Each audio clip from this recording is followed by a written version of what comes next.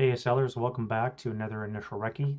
This one's going to be dealing with the Lone Canuck Publishing Canadians in Italy. Uh, this is the second pack. Uh, scenario number 13, Sterlin Castle. It takes place 8 December 1943 around San Leonardo, Italy, uh, up along the east coast. This is around the vicinity of Ortona. So this is one of the preparatory actions the uh, Canadians were involved in paving the way for the later Ortona action. They had to secure the uh, western flank of that, and this is one of those actions. So this deals with the Moro River, represented by that flooded stream on the map that you can see.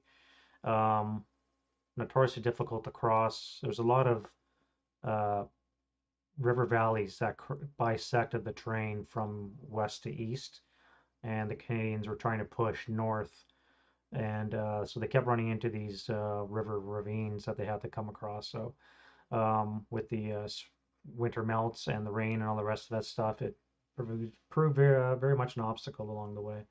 Uh, Dave and I like this scenario because it involves the A Company of the Royal Canadian Regiment, a regiment that Dave and I both served in uh, many years ago. Um, so the action revolves around a single building, uh, Sterlin Castle, as I called it, that was manned by a Lieutenant Sterlin and his platoon and uh, they were able to withstand a concerted uh, German counterattacks trying to push the Canadians south of the river again. Uh, it was a multi-day mini campaign, if you will, for to get across the river, establish footholds across the Moro River so they can continue to push forth. And this is one of those actions.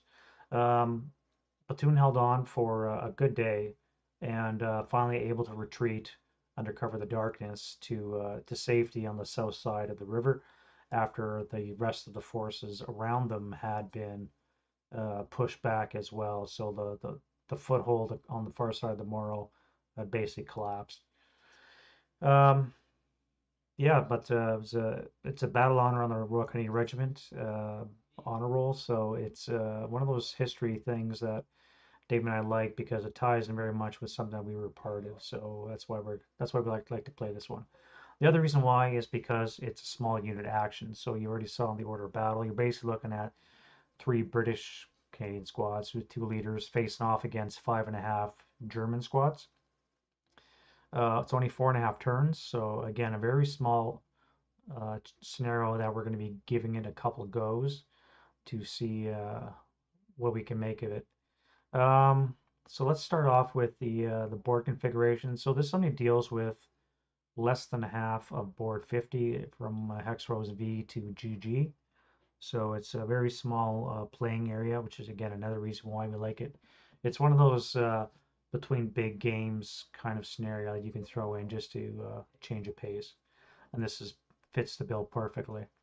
Um, so as I said, four and a half turns. The Germans move last, so that's going to impact the way the Canadians act, especially in the last half of the game.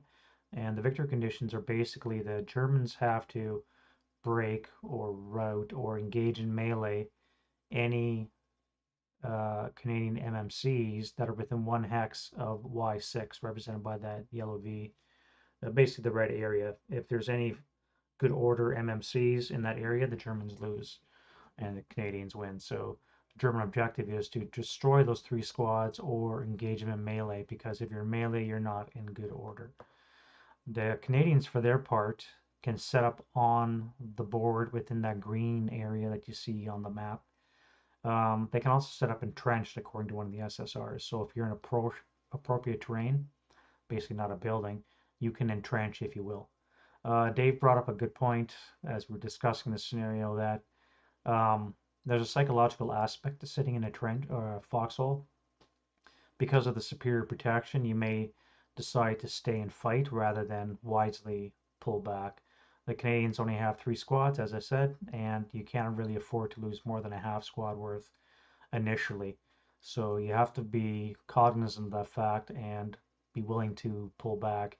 And if you're stuck in a foxhole, maybe mentally you're thinking you're safer to stay there rather than retreat because the Germans have a lot of firepower. So the German order battle again, five squads and a, and a half squad as well, as well as two LMGs, and a medium. Coupled with a Neg 1 leader, uh, you can easily get 16 firepower bearing down on the Canadians, and they can just not withstand that kind of firepower. They don't have the uh, um, ability to take any serious casualties. Um, ELRs are both four, and the Germans have a SAN of two, and the Canadians have a SAN of four. Um, only two SSRs to worry about. The first one is uh, weather is overcast, ECR wet, and there's no wind at start. So overcast conditions mean that if you roll in 10, 11, or 12 on the wind change die roll, that's rain starting. Rain starting means it costs an extra plus one to go uphill.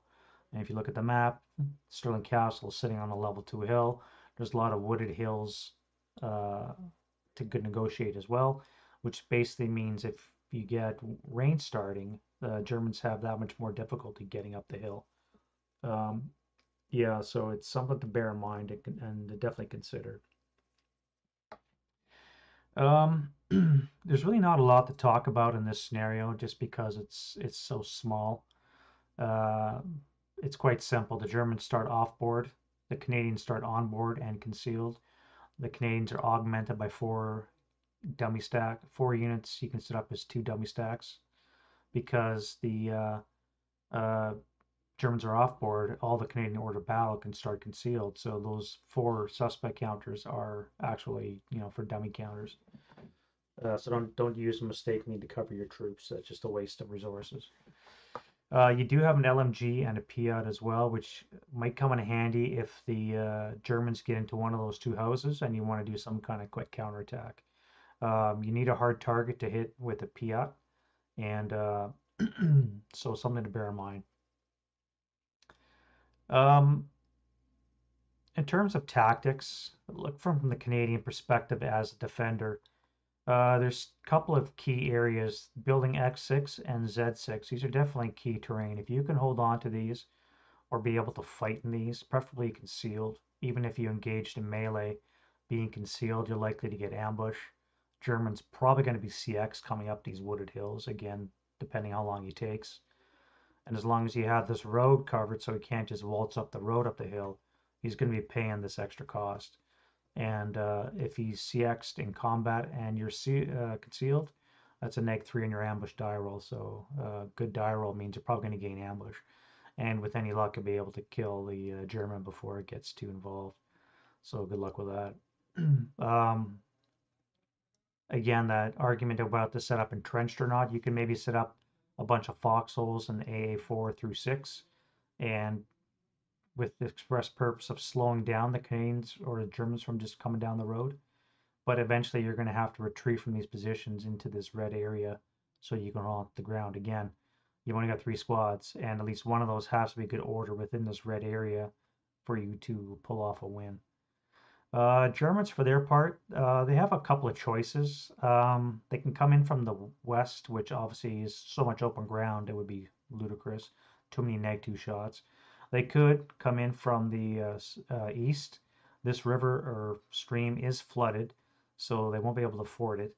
But um, they can still squeak through if you want. It might take a little bit longer and come into the place from the uh, from the south. But again, you got wooded hills. Uh, so difficult to advance up this kind of terrain, but it is an option the Germans have. Or the way I'm going to do it is basically come through the center. So I'm going to use a couple half squads and try and bust some concealment. Basically going to CX them charge down the road, try and get into these hexes and see what's there. They're probably going to die, but that's the purpose. They're going to be scouts. Excuse me. Cardboard warriors that you can use to uh, uh, remove concealment and uh, figure out what's there and maybe maybe it's even a dummy stack where they survive fire and they're that much closer to your objective. And then I've got to have two other stacks with my leaders uh, they'll be moving through the woods probably end up in this area here somewhere ready to advance onto the hill by the uh, by the turn two.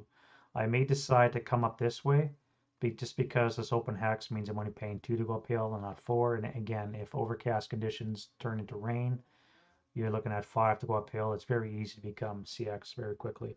And again, you don't want to go into close combat when you're CX if you can avoid it. Shooting is bad enough, but close combat, it, it could be the death of you, literally. Um, but yeah, the tactic wise, there's really not a lot of choices. Again, Canadians set up within the green, Germans come off from on board. I'm going to choose to come on the center, regardless of really how Dave sets up.